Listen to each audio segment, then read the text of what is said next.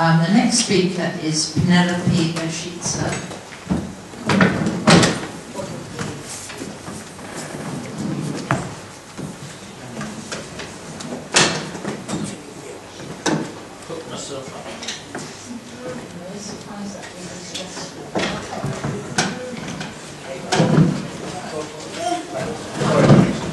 We're unhooking wheelchair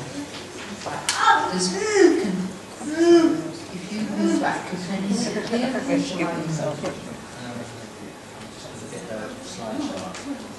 Oh, she's happy to stand. She's happy to stand.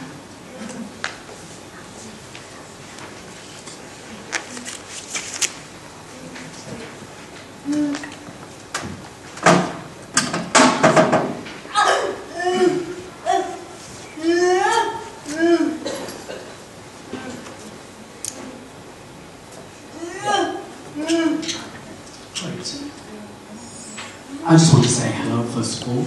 Hello. Hello. Hello there. Thank you. Um, I really feel very privileged to be part of tonight. I've had a look at the people who are attending tonight and advocating tonight. I'm here to represent the deaf community. Richard has invited me um, to speak this evening. So, uh, how deaf people in the UK today, where do we stand in terms of language status? And uh, looking at BSL sign language and the role in society. And also deaf equality. Is it really there? Next slide, please. First of all, I don't want to go on about the past. The past has its place. There's deaf history. But I do want to talk about the last 12 months. The British Deaf Association uh, campaigning, getting involved politically in campaigning. Um,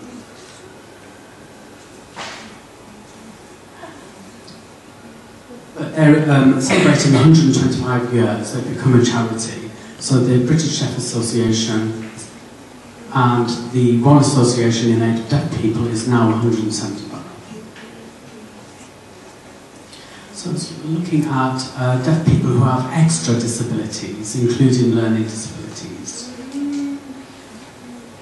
BSL started to become um, recognised, but still a lot of people didn't know about uh,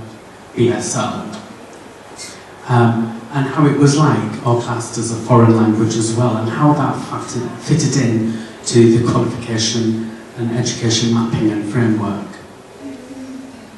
40 years ago, there was a lady who was a professional professor at a university, Mary Brennan. I'm proud to say that she worked in, uh, she was an old school friend of mine.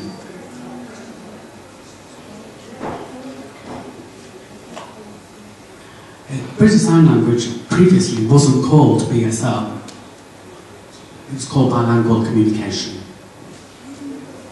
Ten years ago, with the support of the European Social Research Unit, they funded millions and millions of pounds. We've got excellent uh, research unit at UCL, uh, which uh, looks at deafness, cognition and language. You can have a look at the uh, website for more information. Next slide, please. I'm just going to quickly go through the next few slides. There's been some challenges, uh, definitely in the last 12 months. Access to work, which we all know about, and we've been campaigning. People working under, uh, under a hidden agenda um, to try and save money. They've put a lot of deaf people's jobs at risk. Also, benefits, PIP, technology. They're still sending letters to deaf people to say that please phone in. phone. I mean, how can we phone? I'm sorry, do you not get this point? They do need more disability awareness. The Equality Act, with all, with all its challenges, you know, how people are supposed to follow it. So that most people just throw out the window. But also, we all know about the local government cuts, which is a really worrying time. The government saying that they check the, uh, the assessments, and deaf people feel at a loss, loss of skills, work is going, they're not getting the work, and plus they have to pay, you know, they, they feel that they're paying more for interpreters. Deaf education, I'm one of them. Deaf schools are closing down. There seems to be a hidden agenda there, getting rid of deaf education. The evidence is there. We need deaf and hearing educators to develop. Children are becoming more isolated because of the council cuts and being moved to different schools. The last point here, Deaf Olympics, was ignored, ignored by the UK Sports and Paralympics. Uh, the next slide, please, Richard.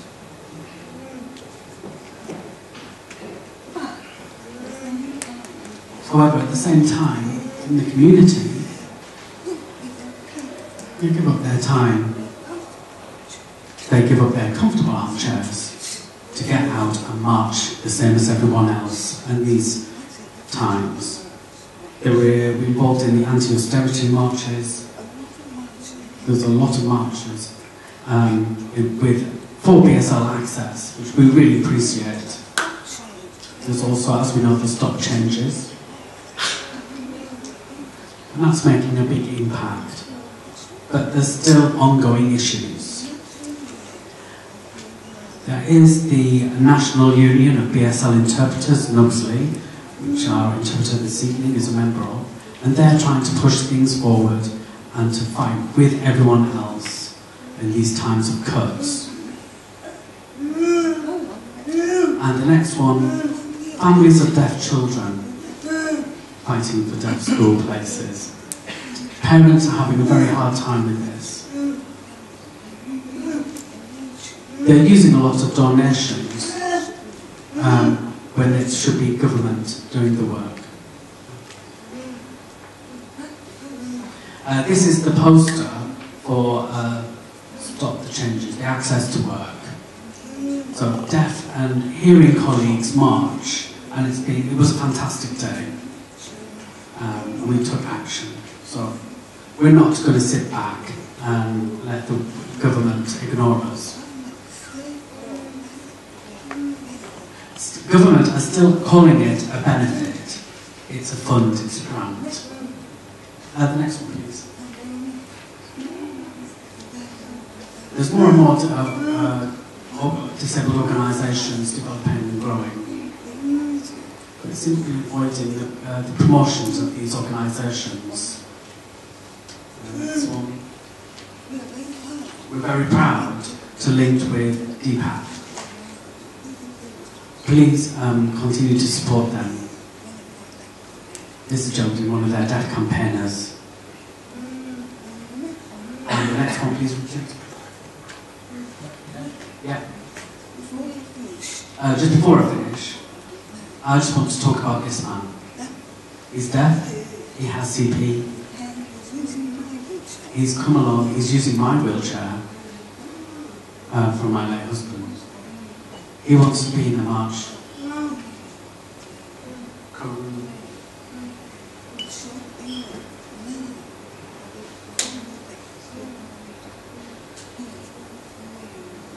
Correct.